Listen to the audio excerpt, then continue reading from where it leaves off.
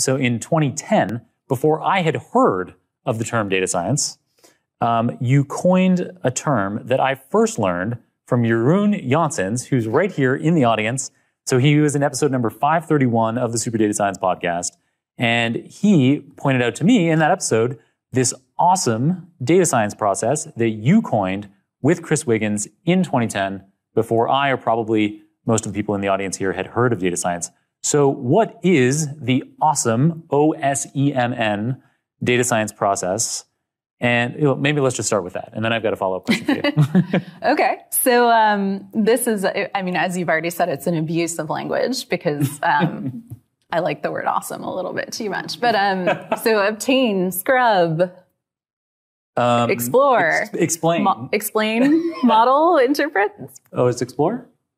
Uh, it's explore. Your Jeroen Janssens is fact check. Yes, thank you, thank you. I wrote it down. Um, and what this was was, uh, you know, it actually wasn't that long ago, and I'm sure this seems completely obvious to everybody in this room that you get some data, you clean it up, uh, you look at it, you interpret it, model it, and then you visualize it or, or communicate it in some way. Like that's what it was. But in 2010, that was not obvious. Right. And we wrote it down because we, or at least, you know, I kept finding myself in a room where, and this is one of the things I love about the data community. People come from all kinds of different backgrounds to data. Like some folks come from biostats and some folks like me come from computer science and some people come from physics and you know we probably have some economists in the room and i don't even know where everybody else comes from but it's probably incredibly awesome. And we end up uh, you know trying to solve a problem together doing the same thing but using different language or different processes and procedures.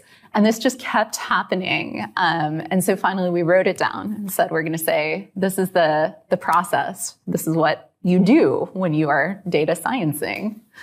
Um, and it is really funny to talk about it here today because now you look at it and you think, oh, this is so obvious. Like, of course. But it wasn't obvious in 2010.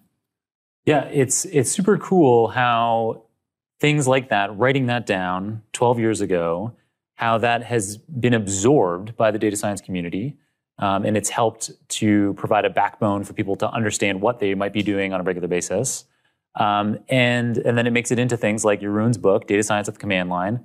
And yeah, it's just it's such a wonderful um, open community that I love being a part of. So uh, so we know now the five stages of the awesome process: obtain, scrub, explore, model, and interpret. That's an N. Whole thing is an abuse.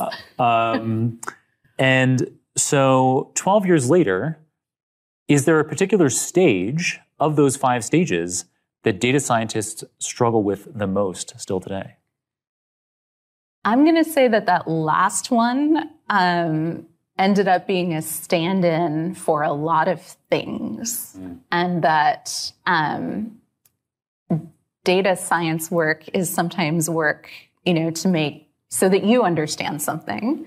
Sometimes it's work to communicate to somebody else so they understand something, they make better decisions. Sometimes we're building systems that go into production for machines to make decisions or to automate processes. And we just sort of elided all of that, like the what happens next part. Right. And I think that's become one of the harder things, um, is doing the first four steps without or with all of those different contexts in mind. Um, Great so answer. I'm going to say that.